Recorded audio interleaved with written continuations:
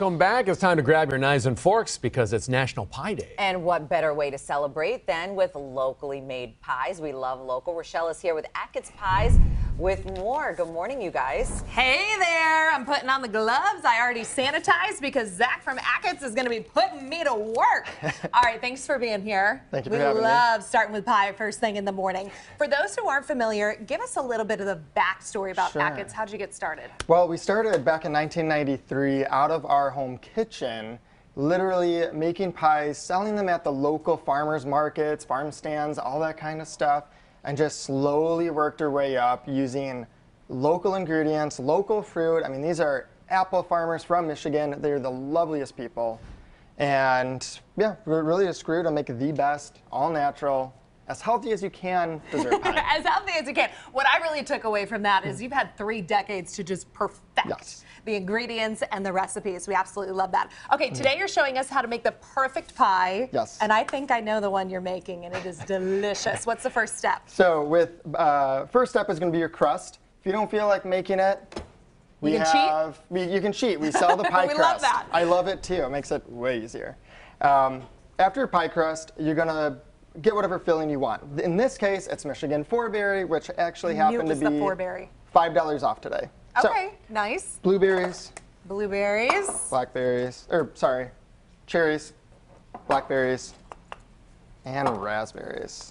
I like the little knock. That's that's gotta, really you gotta, seal. yeah, know, yeah, that's part of the gotta wake 'em recipe up there. A little. you throw in your starch, you throw in your sugar, mm. you give it a little toss. You've got the natural sweetness from the fruit, and then a little added sugar. Our pies are about 90% fruit, with just a little sugar, a little starch. Okay, so it is National Pie Day today, which we're hmm. super excited about. You said this one is five dollars off. Any Five other dollars off. We have five dollars off our chicken pot pie, two dollars off soup, and a dollar off some of our smaller pot pies. I didn't even know you did soup. Yeah. Oh my goodness, That's more than just pies. Okay, now this is the finished product of that. Yes. Okay. So it'll kind of soften up like this. You'll throw it into your pie shell, smooth it around just a Oh bit. Oh my goodness, I'm gonna lift it up just because this is. Woo! I know it shimmers in the light. This Is like a brown cinnamon sugar? What's going on here? Oh, Or so the- we're gonna do the topping. Mm. So you can cheat again. You don't have to use a top crust. Lovely. Make two pies. Okay. Comes in a two pack. So the crumb topping, you just layer it on. Generous. Ge- you're- Generous just be happy about crumbage. it. You know. Oh, got a little. That's okay. Sneaking away. It's It's, okay. fine. All right. Oh my goodness. So, pretty much along those lines, cover it how you want it.